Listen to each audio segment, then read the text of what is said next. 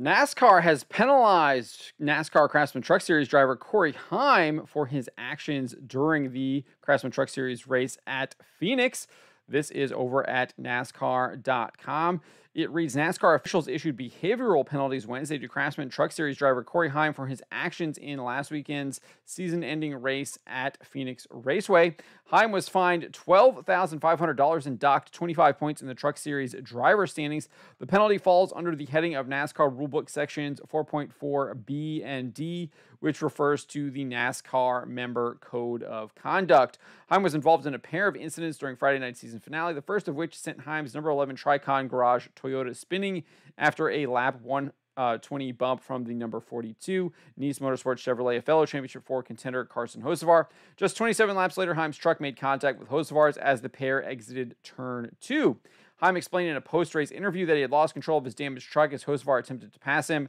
But NASCAR officials determined Wednesday that a review of the number 11 team's radio transmissions indicated that Heim had violated the member guidelines, specifically in three areas of the rulebook attempting to manipulate the outcome of the race or championship, wrecking or spinning another vehicle, whether or not that vehicle is removed from competition as a result, and any actions deemed to compromise the safety of an event or otherwise pose a dangerous risk to the safety of competitors, officials, spectators, or others.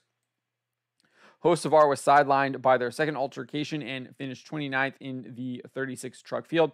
Heim, the pole starter, continued and finished on the lead lap in 18th place. Uh, those results placed Heim third among the four title eligible drivers behind champion Ben Rhodes and 11 points clear of Hocevar. The points penalty, however, knocks Heim to fourth in the in the final Craftsman Truck Series standings behind Hocevar. So let's get into what exactly happened here. Uh, but again, $12,500 fine uh, and 25 point penalty, which puts him in fourth place behind uh, Carson Hocevar. So this is what happened uh, initially, where Carson Hocevar spins out Corey Heimer over here on the NASCAR YouTube channel. Let's take a look. This is in-car camera footage from Carson Hocevar's truck.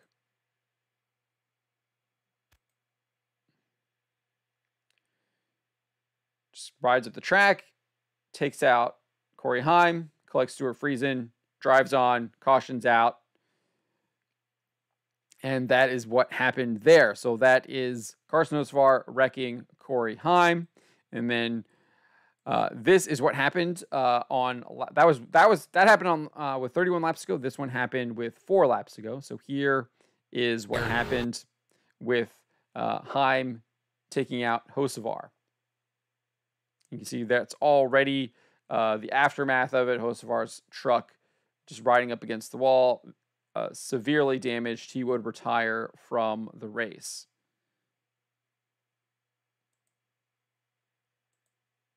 Can see here, uh, Heim gets up into them, into the wall there. Here's a better look from Hocevar's in-car camera. Gets a really good run on the outside. Heim drifts up puts him in the wall, continues on. Hocevar's night is done. Then here is from Heim's truck. Just runs him into the wall there.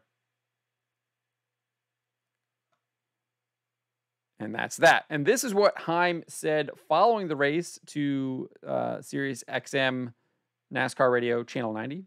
Here, let's take a listen know, every time I was two or three wide, I was out of control with no side force. So, um, you know, it was I was hanging on for a while there, and eventually I, uh, you know, once he put it on my door there out of two, I completely lost it. So, um, you know, just I've never retaliated on anyone in my entire life. So, um, you know, I feel like that's unfortunate, but it is what it is. And would you go talk to him or? So that is how Heim described what happened. Clearly, NASCAR disagreed with him after reviewing uh, his team radio and team communications, believing that he did indeed retaliate against Carson Hocevar. I think everyone watching clearly saw that he retaliated against Carson Hocevar. Uh, so um, I think a penalty was definitely justified. Uh, whether or not uh, you give him that uh, 25 point penalty that puts him behind Hocevar.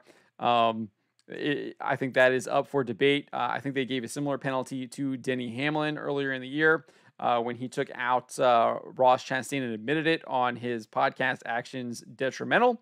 So uh, it does seem like they're maybe being consistent in that respect, but Um, I don't know. I don't know if that's actually fair. Uh, I probably would have maybe just given him the monetary fine and maybe not done the point penalty.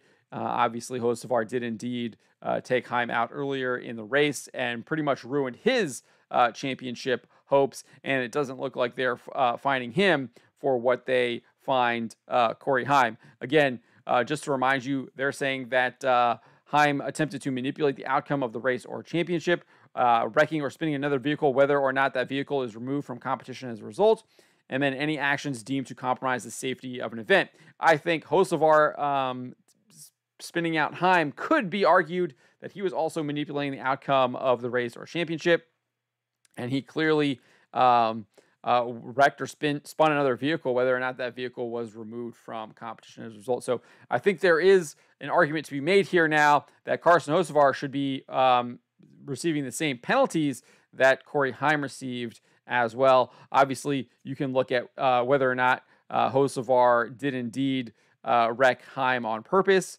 That would have to be the determining factor there. But I do think uh, this is going to create a controversy for NASCAR.